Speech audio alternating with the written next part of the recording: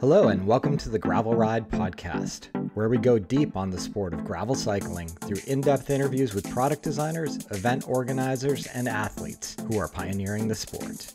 I'm your host, Craig Dalton, a lifelong cyclist who discovered gravel cycling back in 2016 and made all the mistakes you don't need to make. I approach each episode as a beginner to unlock all the knowledge you need to become a great gravel cyclist. This week on the podcast, I'm super stoked to invite back Amanda Nauman. Amanda is a big time friend of the pod, a podcaster herself as the co host of the Grodeo podcast, a very accomplished off road athlete with notable wins twice at Unbound 200, five times at the Rock Cobbler. We touch on Rock Cobbler this year and some of the help she provided Sam Ames with inviting and encouraging more female athletes to toe the line at this year's Rock Cobbler event. She and Dave Sheek are also the co founders of the Mammoth Tuff event in Mammoth, California, which occurs in September each year. She's a member of the Gravel Cycling Hall of Fame Advisory Board, and according to her, she's Walter the dog's favorite. I'm not going to get into that domestic squabble, but we'll leave it at that.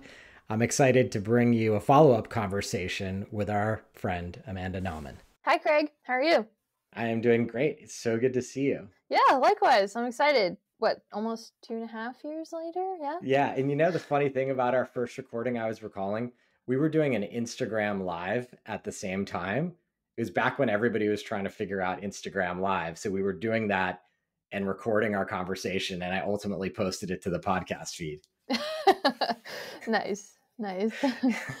One of my sort of, I would say it was a failed endeavor into Instagram Live. It's not something I I jam on. I'm much more comfortable in the podcast format where I can just talk to people and publish it later. Yeah, yeah. No, it's hard and distracting. You get all the messages. You're like, what? What is that question? I feel like we have so much ground to cover. We were chatting a little bit offline, but I, I thought what would be an interesting place to start, knowing you participated in the Lifetime Grand Prix in in 2022 2022. I just wanted to get your kind of overall perceptions as someone who's been around gravel racing for many years with that structure of your season infused onto your life. How, how did it go? And what were your thoughts on the, the Lifetime Grand Prix in general? Yeah, I signed up probably on the last day that was possible to turn in the applications that um, winter before because I really contemplated whether or not it was something that I wanted to do for a while because I knew, you know, I had done Unbound XL. They had put Leadville on the list for the Grand Prix, and I was like, man, I've always wanted to do Leadville. I can kind of shape my calendar around the rest of the series as well. So ultimately, I decided to sign up for it, knowing, you know, it's kind of a shoe in to Leadville, which is one thing I had always wanted to do. And at the same time, I get to do some gravel and some other mountain bike races that I hadn't necessarily done before. So I was very optimistic and excited about the Grand Prix last year. It didn't necessarily go how I had planned or anticipated, but uh, yeah, I think what they have created in the series and the opportunities for athletes to go race that, I think it's a great a great thing and great structure for a lot of people, but it wasn't necessarily, let's say, the right fit for me last year.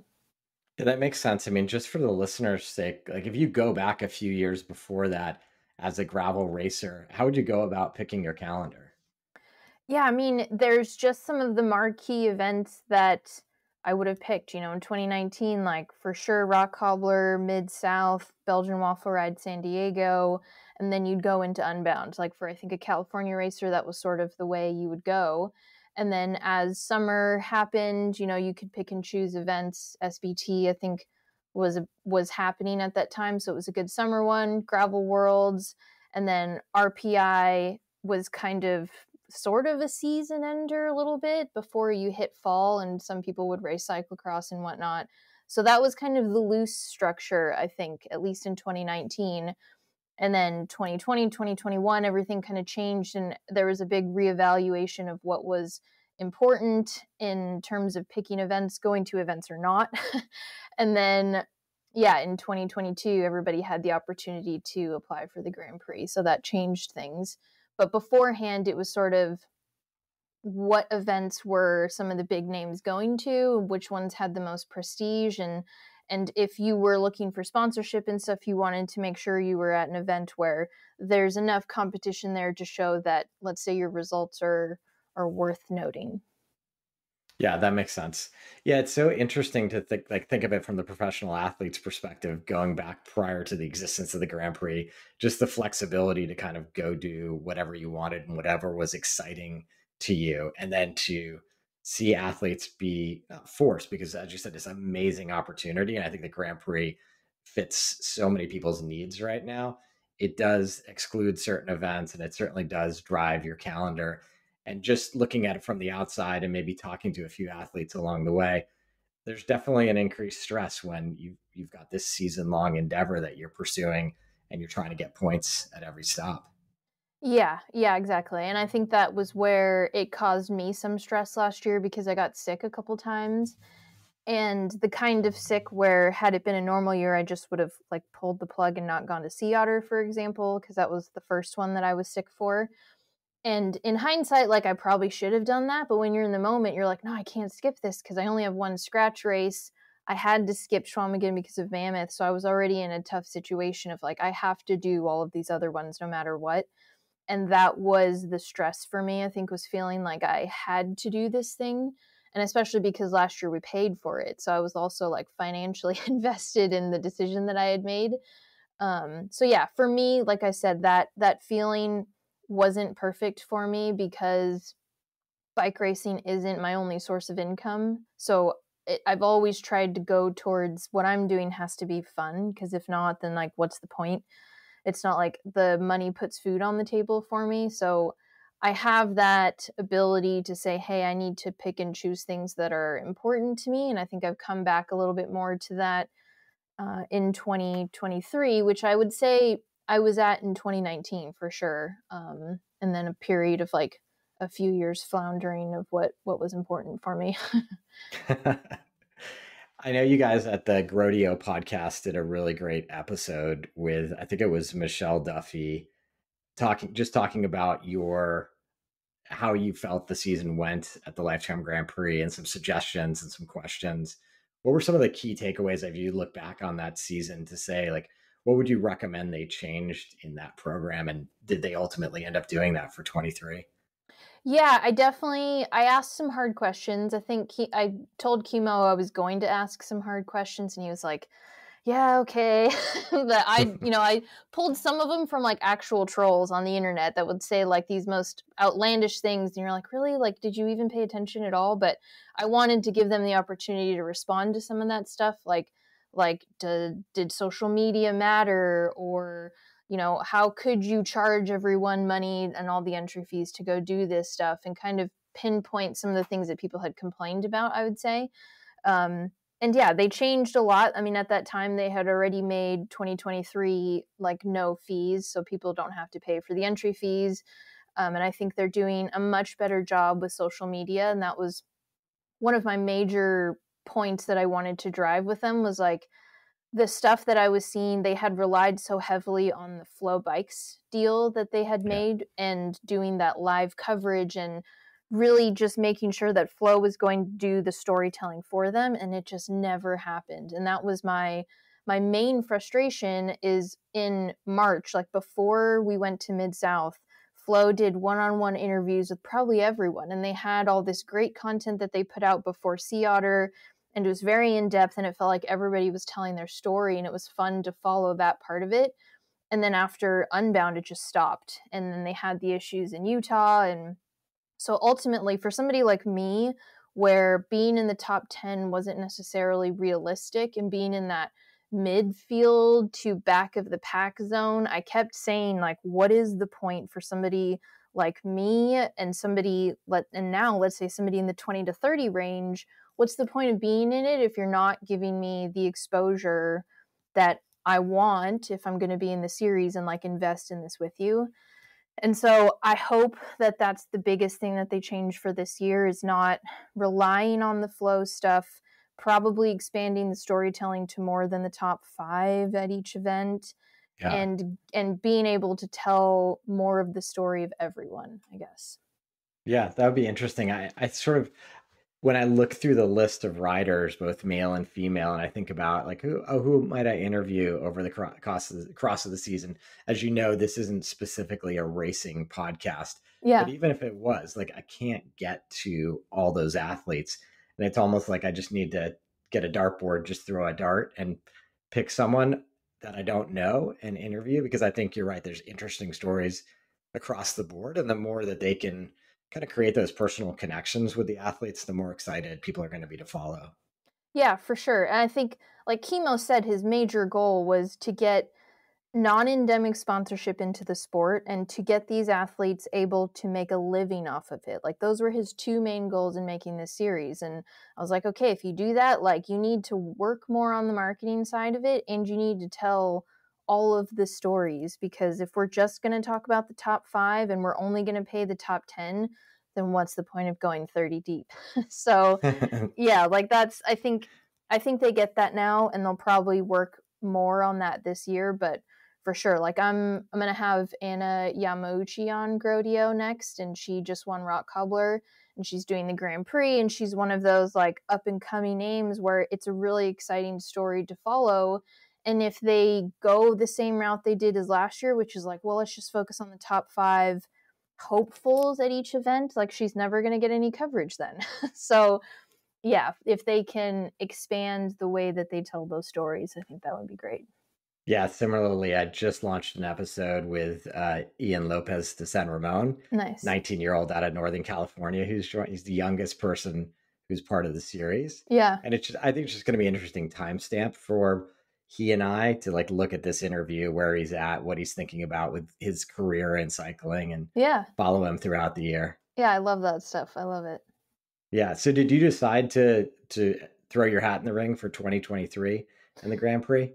I did not, and mostly because I think of the experiences that I had in 2022 and not enjoying that stuck feeling. Um, if they had another deal or contract, or if they had presented a way that they were going to do marketing for all of the athletes, I might have reconsidered it. But because we were just going blindly on the hope of, like, yeah, we're going to make it better than the year before, I was like, well, I'd rather focus on more of the stuff I think that I want to do personally. Um, so yeah, I'm I'm optimistic about the things that they do change for this year. I just think it would have been cool for them to maybe present that up front. When you saw the Call of a Lifetime series on YouTube, did that make you think they might be approaching it differently, or what were your thoughts of that series?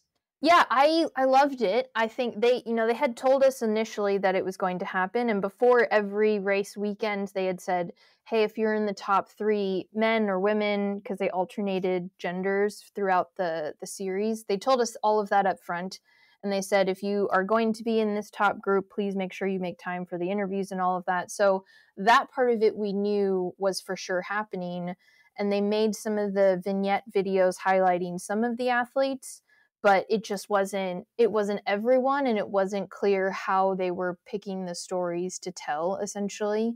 Um, yeah so yeah i think they did a really good job with the series though. I, I joked that it's like they said make it like drive to survive with a little less drama but and a lot more cool bike racing. I think they nailed it pretty good.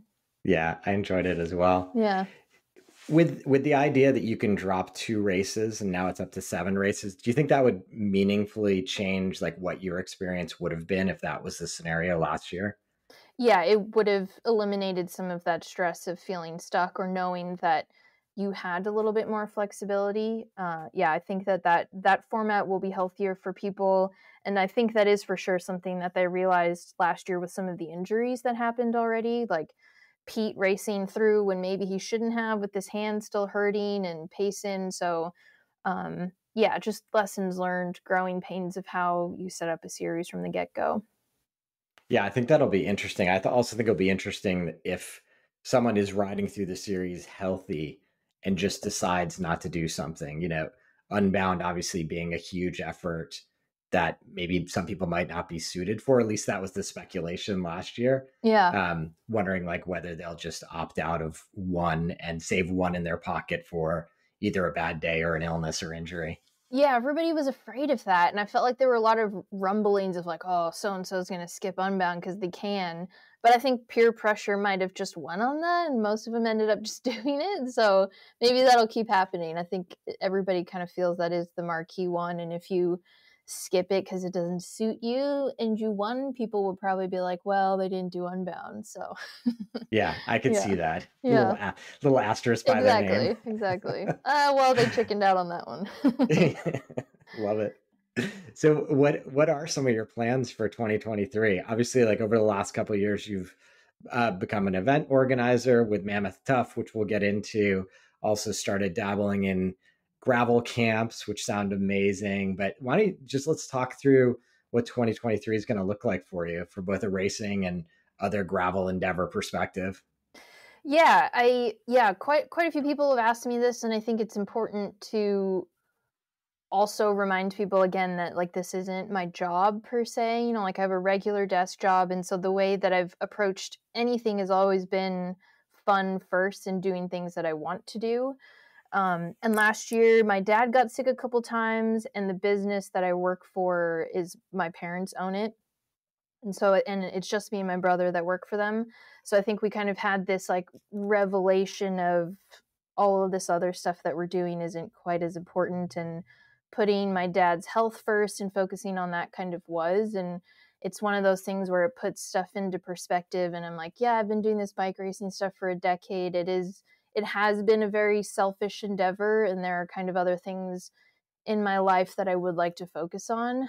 Um, so yeah that that's that's the background to all of it essentially. You know it's not as yeah. easy of a decision as like oh well, i'd rather race mid south than unbound. Like it was it was never really that simple for me for 2023 it was kind of more like Mammoth is very important to me, doing camps is very important to me, having more time at work is also important to me, and um, going back to the goal that I had in 2020 of finishing the Caldera 500 was also a goal and something I wanted to do last year, but like I said, the like shiny object of the Grand Prix got in the way, and I was like, oh, I could do this thing.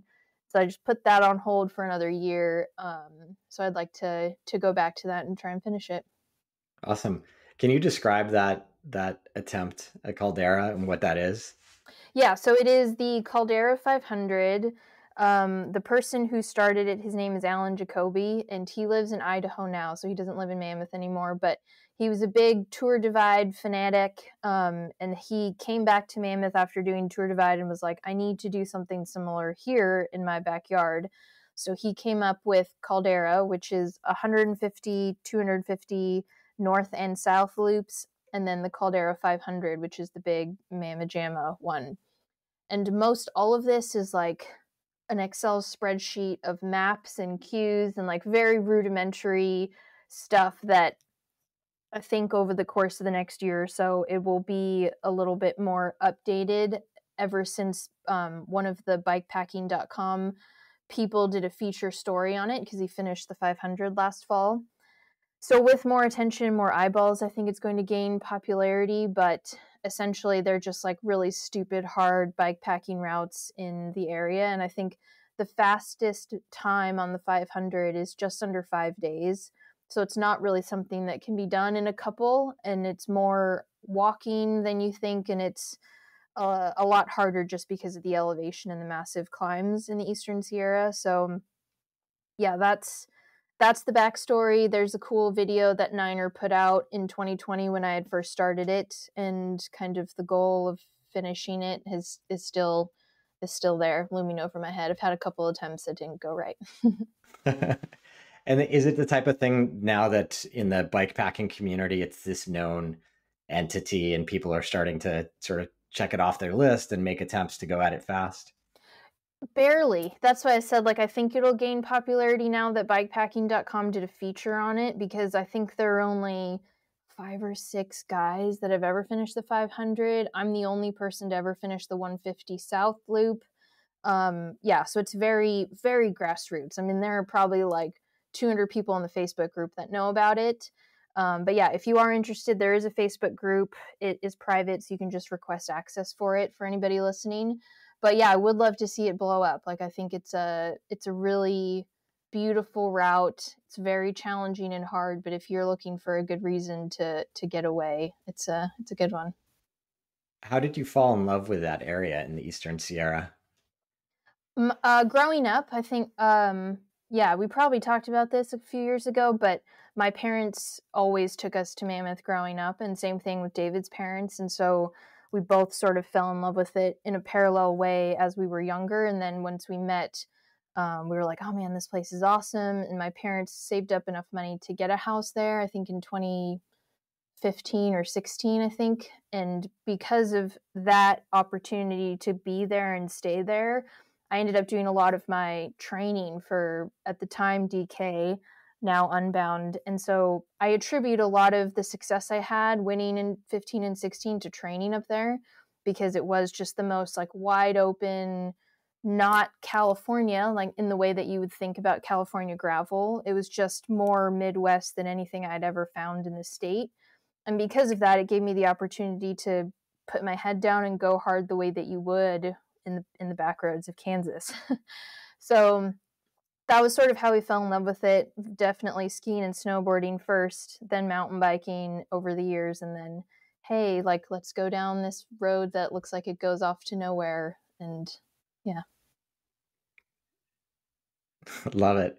And then which year was the was 2020 was the first year that you guys attempted to put on Mammoth Tuff, right?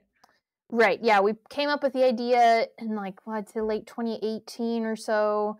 Um, I don't know if I've ever told this story publicly, but we actually went maybe half a year of doing it with Lifetime and thinking it was going to be a Lifetime event.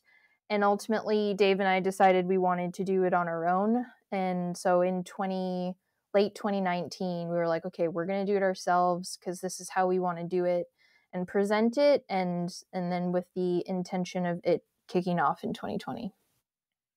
And what year did it actually kick off? Yeah, last year. so okay. yeah, I yeah. couldn't remember if it happened once or twice already. Yeah, so no, you got, was, got one under your belt. Yeah, COVID, and then 2021 was wildfires, unfortunately, and then yeah, 2022 finally happened last year. Which one thing I do want to mention, I just set up BikeReg for this in 2023 for Mammoth Tuff, and they have a new insurance policy option for their event promoters where there's like a natural disaster thing you can pay a fee into this insurance thing where they will cover refunds for natural disasters like wildfires which is huge especially so any promoters listening in california think about it it's only like 2.2% of your fees or whatever and i think the state that we're in and with you know some of the things that could happen in our areas like that is a, a pretty good opportunity for promoters Yeah, that sounds like it. So yeah. the event's in September, so end of the year each each season. Yes, yeah, it is the weekend after Labor Day. So traditionally, the Mammoth Grand Fondo has Labor Day weekend, and then we are that next Saturday after that, which is the closing weekend of the mountain bike park. So we had a lot of people that were up there. You know, you have siblings or other family members that want to just go ride park all day, and you can go do your little gravel adventure. Nice. A little. I'd I'd do a little bit of both if given Yeah. the opportunity. Yeah, a lot of people went and rode mountain bikes on Sunday. yeah. Um, and tell us a little bit about the event. Like, if someone's considering it for their calendar, what what is it like? Obviously, Mammoth Mountain is at a high elevation, as you referenced before. But how did you design the the, the event? What are the the roads and trails like up there? Yeah, it's one thing. So when we first started it, we had a short course and a long course. We were going to do a 40 mile and a 100 mile option ish. And then in 2021, we had a bunch of people come out and we tested sort of a medium route, even though the event was canceled. We were like, hey, go ride part of this and tell us what you think. And that was the genesis of the medium distance. So in 2022, last year, we had three routes, even though that was never the initial plan but some people felt like oh the short one's too easy and the long one's too hard so we need an in between and that was where we came up with the idea of doing three different ones and they're very different like they're in completely different sections of the of the valley of the mountain they go in different areas so i wanted to be able to sell a different experience for each distance and sort of have it as a stepping stone leading up to challenging yourself over 100 if you want to and letting those first two on the way kind of get you ready for what to expect for the for the long one because the long one you go pretty much all the way to Bishop and back. Essentially, is the route. Yeah, and how much climbing is in the long one? Seventy five hundred or so. It's not too bad. It's not like Rock Cobbler where it's hundred feet per every mile. It's a little bit less than that. So I think it's um, it's not as like punchy and brutal in that regard. yeah, are you doing sort of long duration climbs on the course, or is it rolling? Yeah, it's mostly you just like kind of get in the zone and climb for good chunks of time. It's a lot less like five minutes as hard as you can go. You're kind of like, yeah. all right, kick it into gear for the next hour, essentially. nice. And then the the um the the short and the medium courses, what are those distances? Yeah, the short is about 40 miles, very palatable. You go by uh, the the Hot Creek area, which is cool, so you can stop and go down there. And then the medium distance is about 75 miles or so, and it has some pretty technical descending in it, I would say. And for folks who aren't used to riding or navigating sand as much, that feeling of like riding in pumice stone is very different from anything else in the state, essentially, because you're just riding in old lava fields. So it's very unique. I had a lot of people tell me last year, like, "Oh man, you weren't kidding when you said it was going to be hard." I'm like, "Yeah, it wasn't. It wasn't like some like silly marketing ploy to be like, this is going to be the hardest event ever." I was like, I was serious. Like, it's not easy. Um, and so it was it was funny to have a bunch of people come up to me afterwards and being like, "Yeah, you were right." Like, I know, I wouldn't lie to you. what does that end up translating wise for equipment? Like, what do you sort of recommend people ride up there? Yeah, 40 minimum tire width. And I tell people like go with as wide as your frame would allow essentially. So like I could fit a 48 Oracle Ridge on my RLT if I if I needed to and I think that would be the most fun realistically for the day if you were just looking to have a good time. And a lot of it is because some of the softer stuff if you're not used to the like fishtaily feeling of your bike with when it has two narrow tires and sand then go wider because you, it'll be more stable and a lot less like wiggly i guess so it kind of depends on number one people's handling abilities and number two what your frame can allow and then yeah just go big it's safer did people listen to you or were people showing up on 32s yeah no people listened i think that was that was the thing we tried to scare everyone with. was like, if you go under 40, you're not going to have a good time. Just trust me. I love it. I love it. So overall, how was the first year of the event? Did it meet your expectations? Yeah, yeah, it was it was great. I think the one thing I don't like gloating, but I will toot my horn on the safety aspect because the one thing about that area is there's you have very little cell service. You're kind of really truly in the middle of nowhere and the only people who ever go out there are just going in their side by sides or motorcycles to to get away. So we made it an, an emphasis on safety and having 100% rider accountability, which you'd be surprised looking into events that you're trying to sign up for that that's not really the case for most events that you go to. Promoters kind of put it on you to, oh well, if you're out there, you're kind of on your own, and if you don't get back, like you tried calling SAG, whatever, like you'll figure out how to get back essentially. And there's not really making sure that everybody is back okay. Whereas in our case, if you get out there and you get lost or can't find your way back, like there's a like you go into the risk of like making it out alive essentially because temperatures can drop overnight and there's kind of more risk factors involved. So we wanted to make sure that we knew where everyone was and TVG timing had a really good setup where you could text them if you DNF'd, if you got back to your hotel room on your own.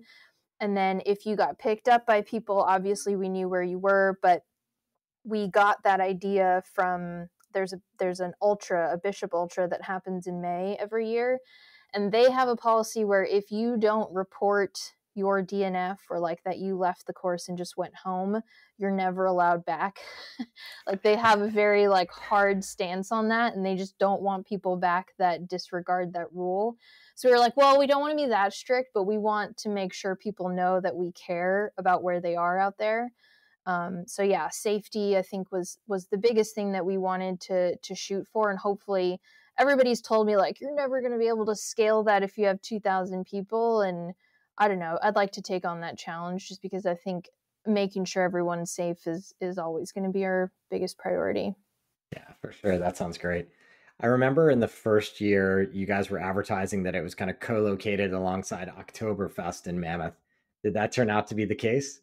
It didn't. They uh they ended up canceling their festival. They like I COVID stuff and the people who ran Oktoberfest have other businesses in town that they were kind of more worried about than than putting on the festival last year. So they canceled.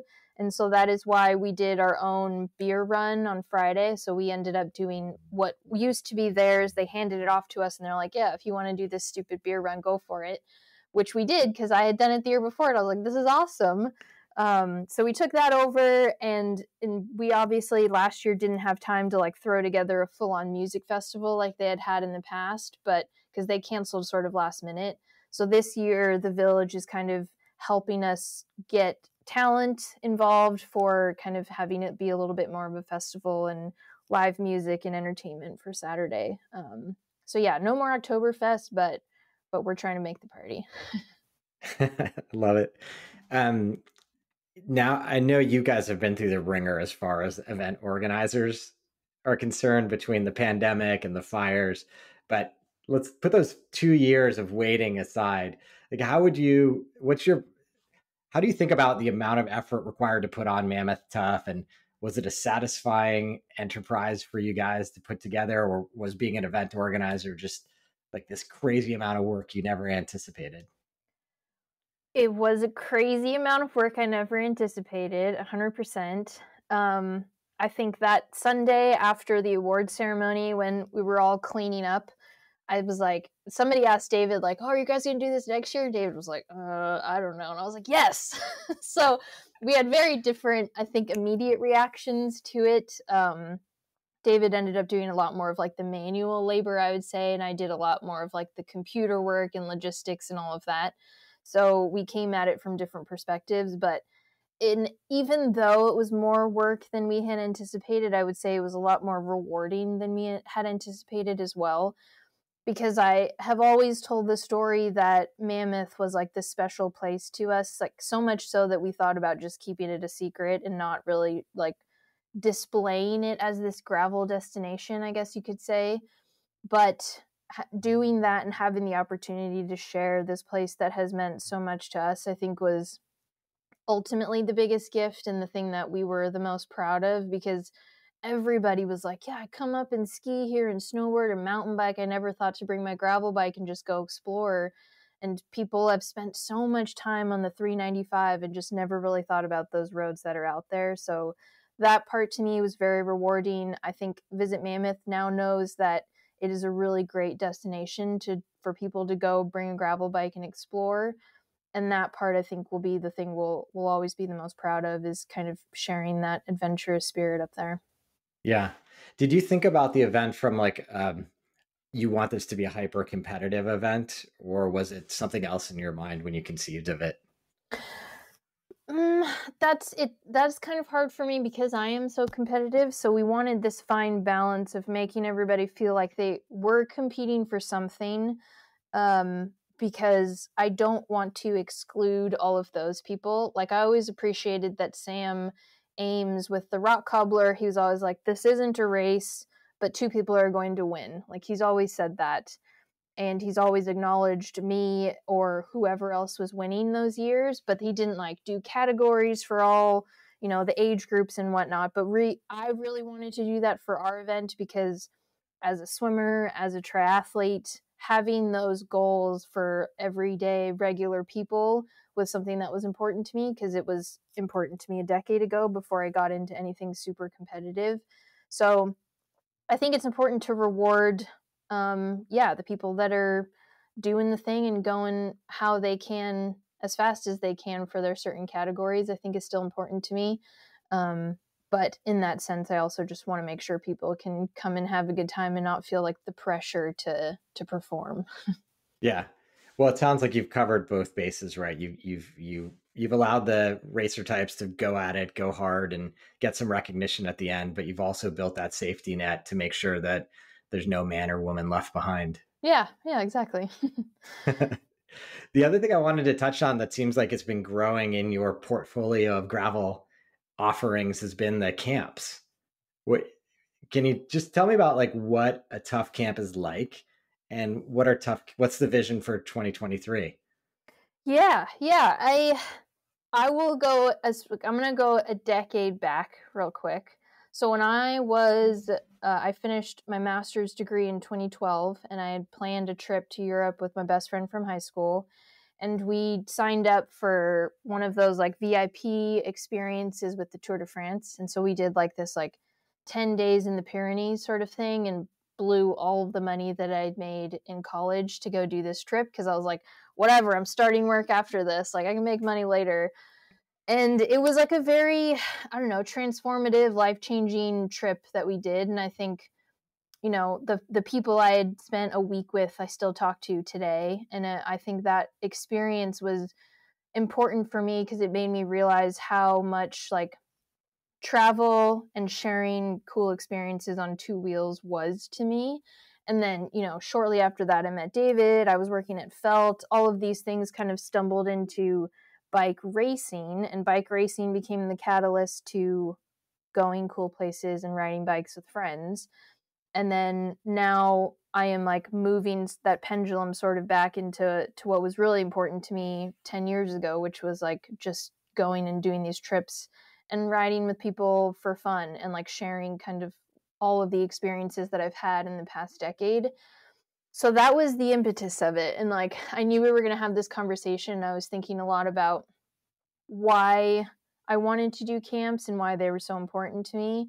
And Dave, working as a coach for Carmichael Training Systems, like they have always done a really amazing job with camps. And I've had the pleasure of helping coach some of those and being a part of them and every time i'm like this is where it's at like the like intimate like group setting you know you have good food you hang out you just talk about important life stuff like that i think is always something i enjoyed so that was the impetus of of all of it. We started some of the camps in 2020 a couple more in 2021 a couple more last year and to where we are at today, making all of them sort of under the Tuff Ventures umbrella and expanding it to a couple of camps in Kansas. Super cool. I do I do think for many cyclists the idea of a camp evokes this training camp mentality, which is like, oh, I'm going because I'm trying to do well at Unbound or what yeah. have you. And I think it's an inter- really interesting opportunity to kind of shift that mindset to more what you're saying, which is like, I'm going to go somewhere cool. I'm going to ride my ass off for four days. I'm not doing that for necessarily for anything beyond the sheer pleasure of riding for four days and getting access to people who are knowledgeable about the sport and learning a thing or two. Yeah, exactly. I think it's a middle ground of a training camp and like a vacation trip because I want I want to bring value and the way I've been explaining it to everyone is like Dave and I made a lot of mistakes in the past 10 years. We did everything the wrong way. And I would like to make sure that people coming into this discipline now kind of learn from our mistakes, start doing everything the right way, because you will have a much more pleasant experience doing these long adventures if you have, you know, some some semblance of like how you should take care of yourself essentially. Yeah, definitely. There's just a lot of low hanging fruit in terms of if someone just tells you something simple like make sure you eat every hour in these long events. Yeah. You're gonna yeah. be a lot better off than or some than people that are like, that. oh man, I only had a bottle in four hours. I'm like, well, that's why you feel like crap. yeah. exactly. I like you had the benefit of doing triathlons where you sort of learn those lessons very quickly. If you didn't fuel in one activity for the next one, you were pretty much hosed. Right. Yeah. Yeah, exactly. And I, again, one of the other things that happened was we had so many people that came to Mammoth and did the short route last year, and it was like their first gravel event. And that was very intimidating for me because I was like, this is going to be like their introduction to this experience and this discipline. And I wanted it to be good, and I wanted them to have resources at their disposal to make it comfortable so much so i feel like i over delivered and overshared on some of that information and I had a couple people emailing me and say like, you know, you don't really have to like handhold so much for all these people. I was like, yeah, I do because some of them literally have no idea. So like, if it's annoying to you that I'm telling you to drink a bottle an hour, like just ignore me then. this isn't for you. so most of the camps, well, all the camps last year were up at Mammoth, and obviously, like just being able to showcase all the great trails and roads up at Mammoth was an obvious thing for you to do, both in terms of getting people pumped about that region that you love so much and getting people excited, maybe specifically for your event. But now you're expanding to Kansas. Let's talk about like what's the orientation of those camps in Kansas?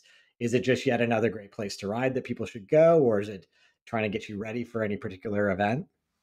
Uh, yeah, yeah. They so the first one is with the Flint Hills Gravel Ride, and the second one in July is with the Rock Ridge Gravel. And so both of those events are run by Bobby Thompson.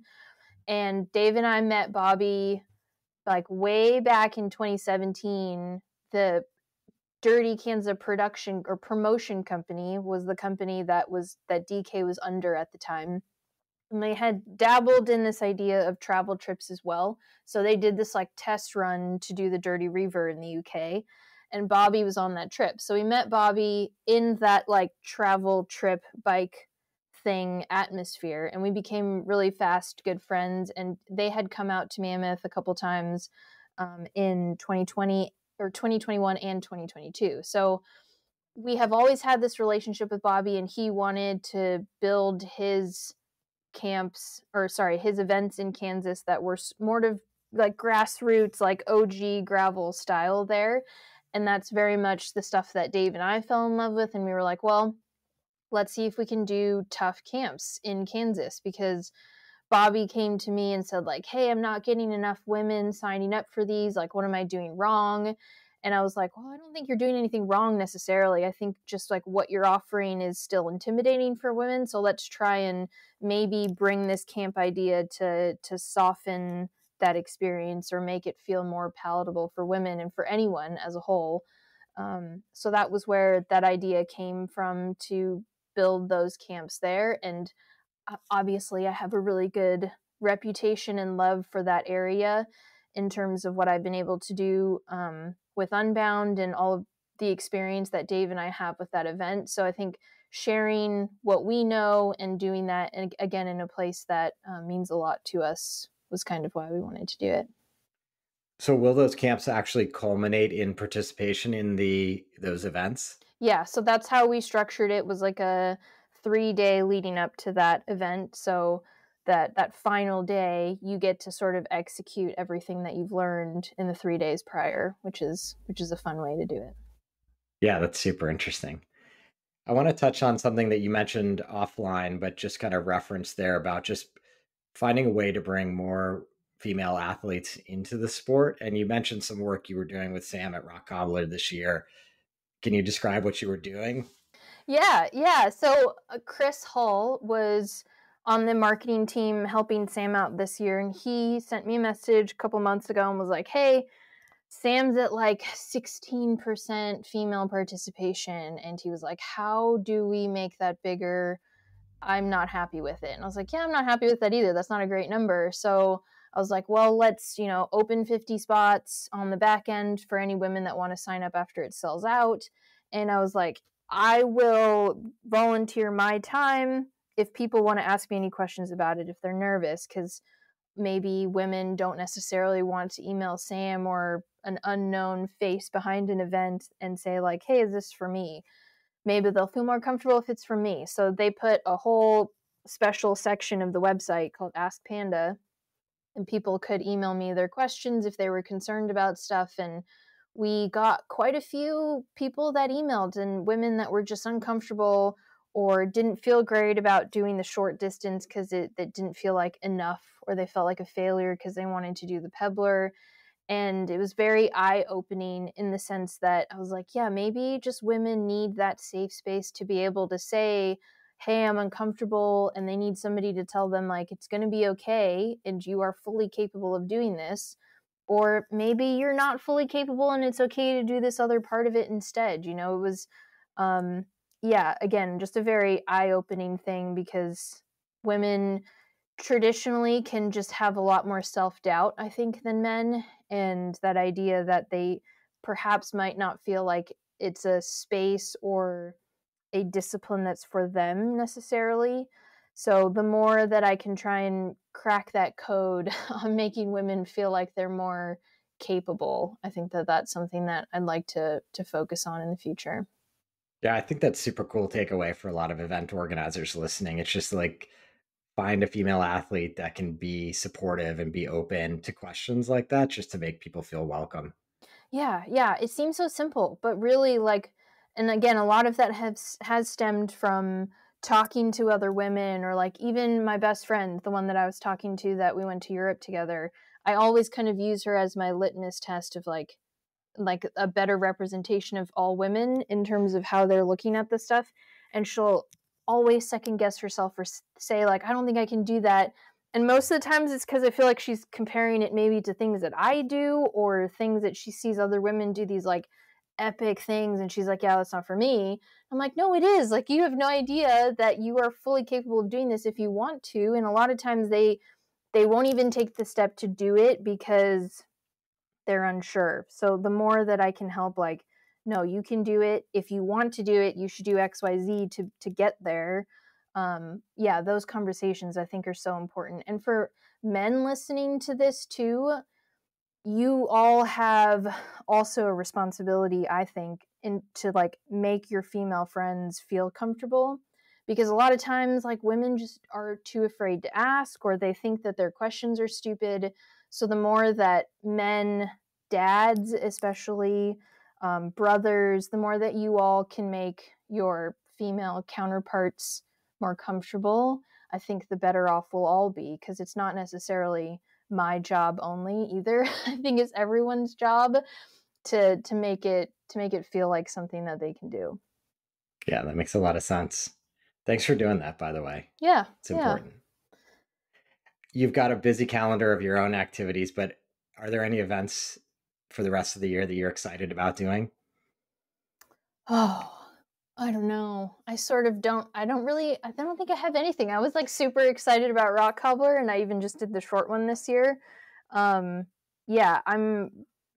I think I'm putting all of my eggs in the the camp and mammoth basket, and really focusing on Caldera because it is something that has a steep learning curve. Like obviously I haven't I haven't finished it twice, so there's a reason why and it's just a lot of like learning things the hard way I think when it comes to bike packing. So the idea of like even more self-sufficiency than I've been used to in the past is the like that learning thing that I'm most excited about for this year.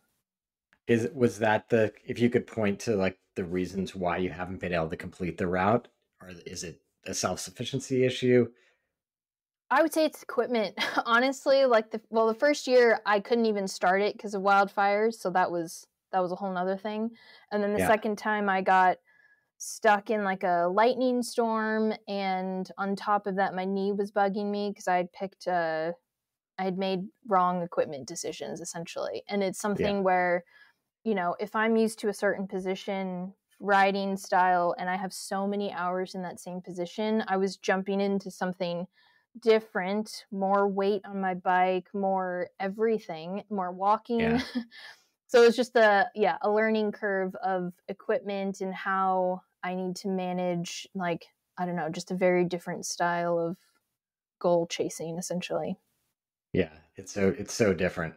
I mean yeah. just just just having a loaded bike in and of itself is like a game changer and what how your knees feel in particular. Exactly, exactly. Because I so I had like a frame bag on my frame, and so I thought, well, I'll make my Q factor wider so that my knees aren't rubbing my frame, and that Q factor thing just royally effed up my left knee.